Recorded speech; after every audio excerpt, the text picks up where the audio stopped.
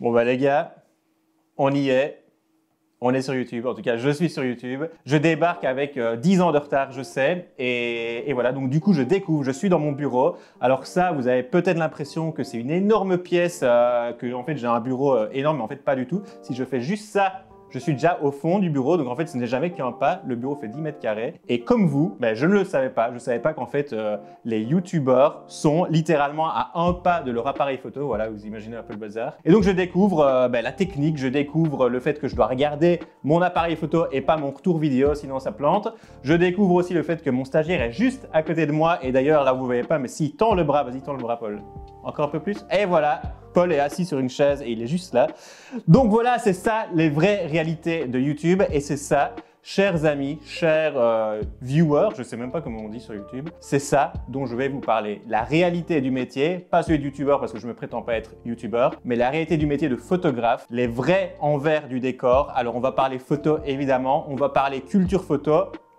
Par exemple, on va parler de bouquins photo. Là, je vous ai pris un au hasard euh, qui est euh, bah, dans ma bibliothèque en fait juste derrière, parce que oui, encore une fois, vous avez peut-être l'impression que j'ai 10 mètres de studio derrière euh, mon appareil photo, mais en fait pas du tout, c'est juste ma bibliothèque et puis c'est la fin du bureau. Bref, on va parler photo, on va parler euh, métier photo. Je vois Paul qui a sorti son iPhone pour me filmer, pour balancer ça sur Instagram et c'est hyper drôle parce qu'il essaye de me griller, mais en fait je le grille avant tout. Mais de quoi allons-nous parler encore quoi? C'est vrai, en vrai c'est déroutant, hein. c'est vraiment déroutant parce que c'est quelque chose que j'ai voulu faire depuis des années. Ça fait sans mentir, on est en 2021, on est le 5 mars, oui, à l'heure où on filme cette vidéo en tout cas. Et depuis 2017, j'ai l'ambition d'arriver sur YouTube. Alors en 2017, j'avais l'ambition de faire des vlogs. D'ailleurs, c'était l'année de mon gros euh, projet Pix of Europe. D'ailleurs, instant auto-promo, si vous n'avez pas encore mon bouquin à travers les montagnes d'Europe, achetez-le. En 2017, j'étais sur mon projet Pix of Europe et euh, c'était mon vrai premier gros projet photo et voyage. Et, j'avais l'ambition de faire un daily vlog. Je suivais les aventures de Casey Nesta comme tout le monde, j'imagine, à l'époque. Et je m'étais dit, bah, euh, je vais commencer ça. Donc j'avais acheté le GorillaPod, le Rode Mic pour faire euh, tout, le petit kit essentiel pour le vlogueur. ben voilà, ça n'a pas marché. J'ai essayé, c'était beaucoup trop de travail. Je ne sais pas pourquoi. Ben oui, je devais me, me concentrer sur la vidéo, sur le son, sur mes photos, sur l'itinéraire et sur mon livre. Donc tout ça a fait que j'ai jamais vraiment percé ou même posté sur YouTube. Quatre ans plus tard, on y est et je tiens à célébrer ce moment avec vous tous.